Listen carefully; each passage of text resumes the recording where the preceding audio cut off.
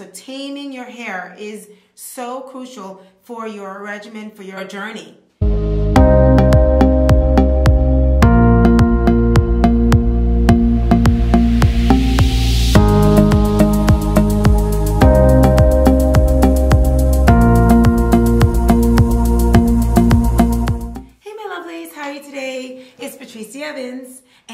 My banding on today. Um, I have so much to do and I just wanted to get this in, but I didn't want to take my hair out just for the video because I'm preparing for it to look nice tomorrow, uh, which is going to end up being the day that you get this video. So it's part of timing. So um, it's just the end of the day and it's kind of silly to take the band out if it's already end of the day.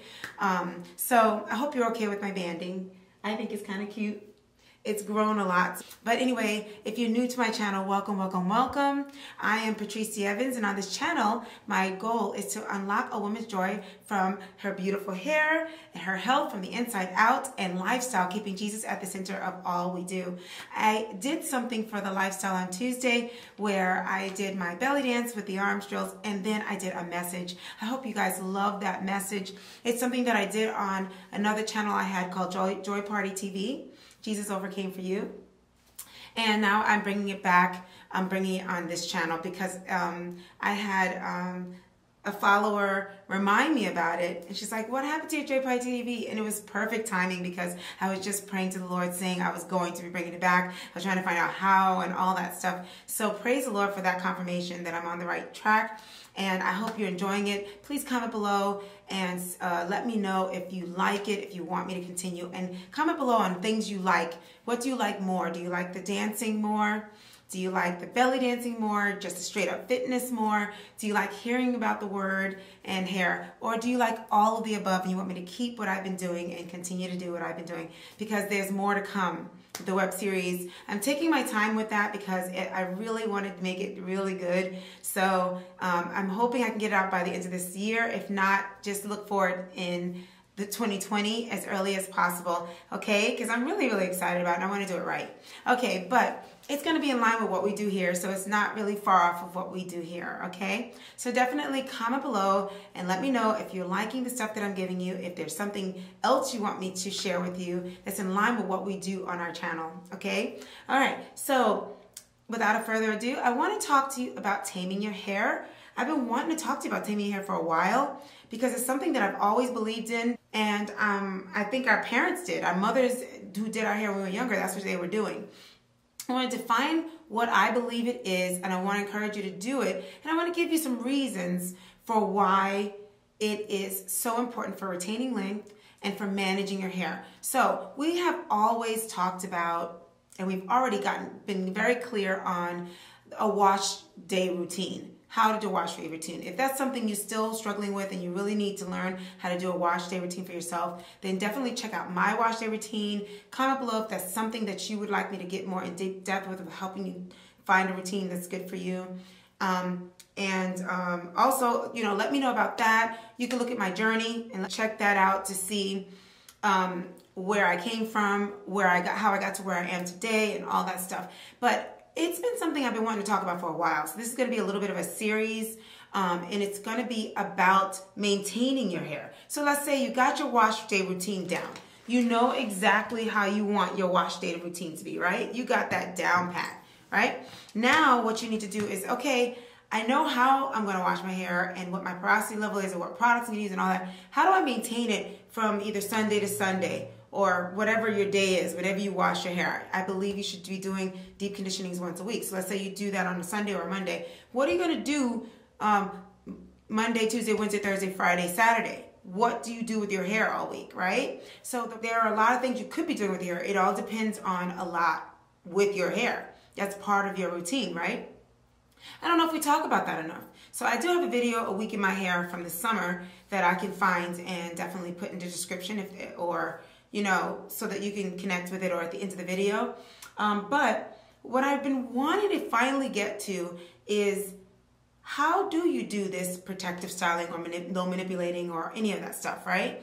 And putting that aside that we know we need to do protective stylings and not manipulating, there's another piece to all that, which has to do with maintaining your hair in general and how you manipulate it.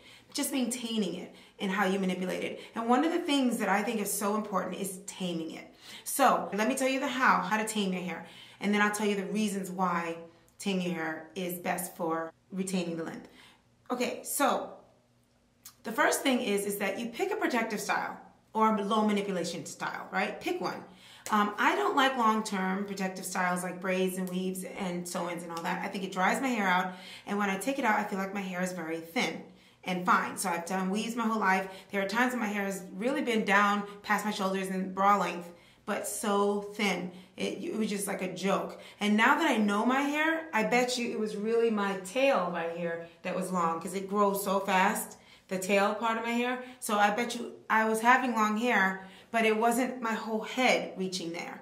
And now I know my hair, I know how it grows now, so I understand it. And the crown area needs a lot of attention, a lot of moisture, and um, whatever you do in your five steps in terms of taking care of it, where you cleanse it, you give it the protein treatment, um, which is strengthening, you moisturize it with deep conditioning and leave-in, and then you seal it with oil or butters, and then you dress it with gel or hair dressing, like with however you style your hair with a styling uh, dressing. So if you're doing all five of those things, that's what that would be your regular routine. But after that, beyond that, how do you maintain whatever you put in your hair when you did your wash day, right? Okay. And with the crown area, I feel like that area needed all of that more than the rest of my hair. So that really didn't get what it needed. So that's very important. So we let's put that aside, the five P's, the very important things to do for your hair once a week and protein once a month. Uh, beyond that, how do I manipulate my hair? How do I take care of it from wash day to wash day? And well, let's just assume that we're going to agree that protective styling is definitely great for those who do it. For my channel, it's low manipulation style. So we're going to go into the low manipulation style and see why taming your hair is so important. Okay, so taming your hair is basically getting it to get so used to a style that even when you're not purposely trying to put it in that style, it just reverts to it. It's almost like you blow dried your hair and then it takes a while for it to get revert back. Well, you're trying to do that by the styling that you do with it. You're keeping it in that style so much that it almost, you can, I could take out my bands now and go like this and it basically will stay very close to that style like it wants me to put it right back. There's something about your hair where I believe it loves that. I think our kinky curly hair likes to be tamed. I think it, it, it just works well for us. It grows, it's good for it. Um, all the nutrition and everything we put in it stays in it. So taming your hair is so crucial for your regimen, for your journey. And it's so important because what it is that you're doing is you're picking, like I said, you're picking something. Let's pretend protective style is over here somewhere. We're going to focus only on manip low manipulation styles in this video, okay? You, so you pick a low manipulation style that you put your hair in over and over and over again, and you're not trying to be creative and crazy. You're sticking to the same style. If you do that with low manipulation styles, you're very, very, very close to the protective style where it literally never moves from that style. So if you have a, a long-term protective style and it's in cornrows, the cornrows don't go anywhere, right? So it's been tamed because it's not going anywhere. It, it, day in, day out, you got the same style, right? So that's a different type of taming where you never manipulate it. Well, low manipulation styles, you take it out and put it back in, but there's a way to take it out and put it back in where you're still keeping it very close to what it was originally. And that's how you're taming your hair. And then after you wash it, you put it right back in. So you do it, you wash it, put it right back in. Doesn't that sound a lot like what mom used to do to our hair when we were younger? She used to put the pigtails, and we have the pigtails all throughout the week. That's like protective styling, you know, low manipulation. I'm not sure if you want to call it whatever you want to call it. Then when we took, when we had our wash day, she just put it right back in, right? So that's what I'm talking about. There's something about doing that so often that your hair is tamed and it's almost as though you blew it out and it won't revert very easily. So let's just define taming as hair that doesn't revert very easily to the kinks and the curls. It stays closer to whatever you stretched it out in and it takes a lot to put it to make it revert. There's nothing wrong with it. It's not damaged. It's just not reverting very easily, which is very good because it makes it easier for a lot of things. And we'll talk about those three main things. So that's what it is. What taming your hair is, is when you don't revert, you don't go, you don't change styles very often. And like I said in my other video, which I'll link here, um, um, from the series is that um, if you keep parting your hair in the same spot, but you keep kind of a loose bow, see it's kind of loose. I always keep it slightly loose. It's never too tight. If you tend to do that, then I think that's ideal for how to tame your hair. So I keep it in the same banding um, all the time. Not very different from what I'm doing here all the time. Like I've been doing it for, you know it's been over a year, right? It's been like probably two years, but I'm thinking it's a year and a half at least that I've been doing the exact same thing. Look how long my bands are right now.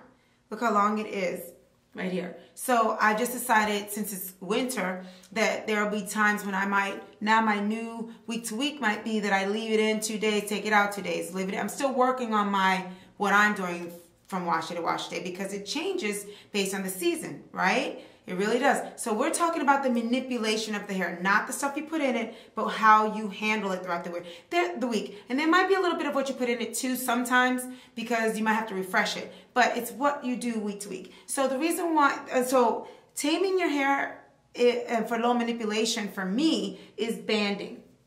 So taming your hair, the umbrella of taming your hair, you can have um, long-term protective styling, low manipulation, and then underneath the um, manipulation is a type of low manipulation, and mine is banding. So I've chosen banding as my low manipulation style, sometimes protective style because I may not take it out, right? So let's start from there.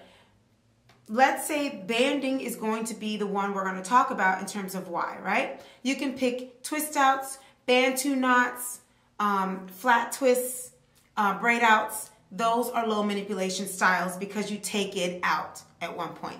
But just so so let's just keep that. And then let me just stay within the definition a little bit more. So if you did a, a bantu knot, what you do is you twist it and it goes into this knot, right? Let's say you only do that for a night or you do it for a day. When you take it out, you just unravel it and you might stretch it out a little bit. Some people pick their hair out, but with the taming of your hair, you don't want to go crazy picking your hair out. Okay, so let's see. So bantu knots is how you would do a bantu knot, right?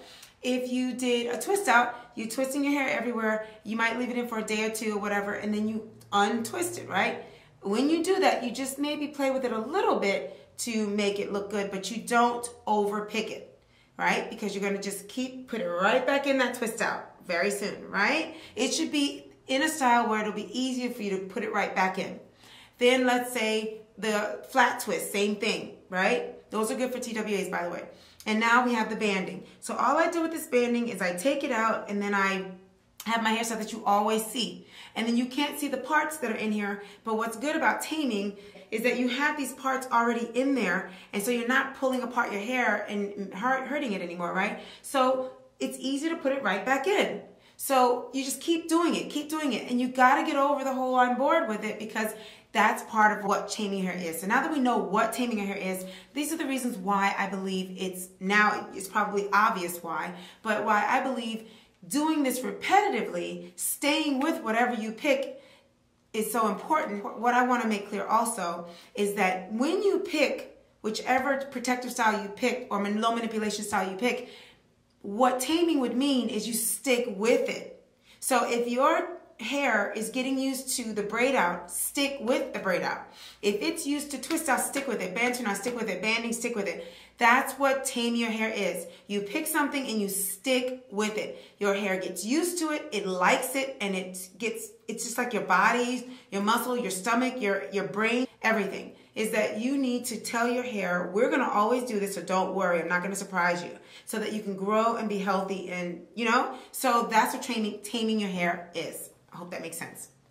I will repeat the, the uh, definition of training um, because I kind of feel like I'm making up the definition myself. So it's going to take a little bit of explaining to get to it because I don't hear people talking about it that much. So I'm going to do a series and talk more about it. The more I talk about it, the easier the definition will be, right? But I think you get the point.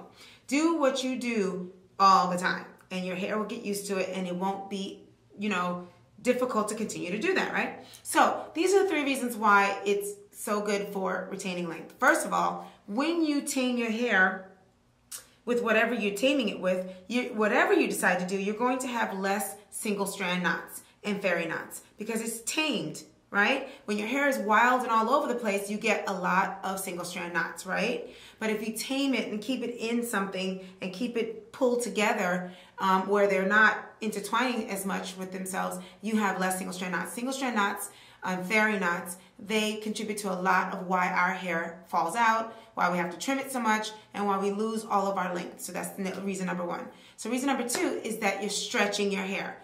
Um, we always say stretch your hair, right?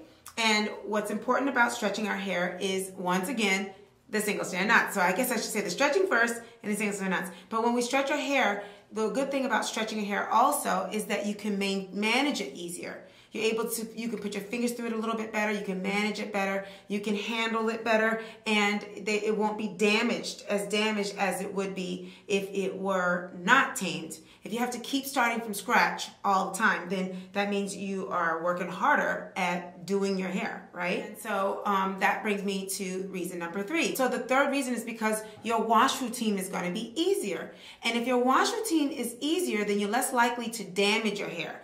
You want to have your revert, you want your hair to revert some so that it, you show elasticity. But if it starts to become looser and easier to manage, it's probably because you have been taming it. Your wash day is going to be so much easier because your hair is going to get so used to being in that state that you'll probably just wash it and it just, it probably won't revert too much and then you put it right back. Like if you just keep putting it right back, and taming it right after wash day and keep it close to that tamed style, then it's going to make everything so much easier. And just think about it. If your wash day is easier, you will not lose as much hair because you're not having to detangle so much.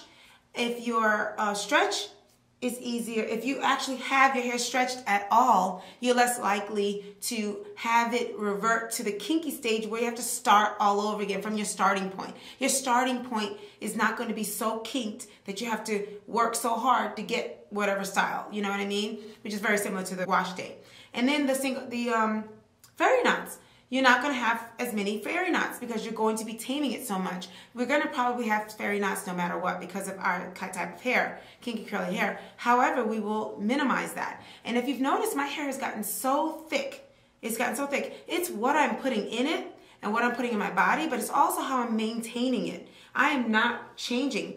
You know, the biggest thing around taming, the biggest word for with taming your hair is consistency you have got to get comfortable with one of the manipulating styles and methods. Pick a method that you think you can do for a lifestyle and stick with it. And it's okay if you do it two days, take it out two days, but I don't think you should be doing twist outs. Then I'm going to do a braid out. Then I'm going to do banding. You're doing all these different things to your hair.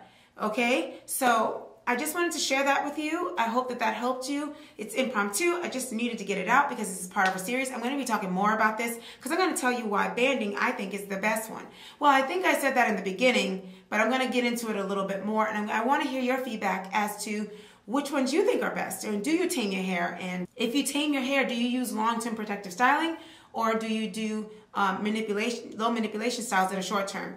In my next video, I'm going to tell you why bandings I think is best again but I'm also going to tell you why low manipulation styles are better also for your week to week maintaining your hair. There's a real reason why you need to be touching and feeling your hair, okay? And so you don't want long-term protective styling and it sets you back when it's time to take it out. You, you know what I'm saying? You still got to learn your hair, right? So we're going to talk a little bit more about that. So I hope that this has helped you. God bless you. And I hope that you were blessed by my video last week. I will definitely link it in the end if you haven't had a chance to see it. And I want, I need to hear feedback from you. I need to know what you're loving. Do you want me to keep doing what I'm doing? Um, because unless I bumped into somebody who watches my, my videos, how would I know that they love it? So you have to tell me by email, by commenting. So I love you guys so much. Keep Jesus a part of your journey and everything that you do. Pray over your hair. Pray for me. I'll be praying for you. And I'll see you in the next video. God bless you. Bye.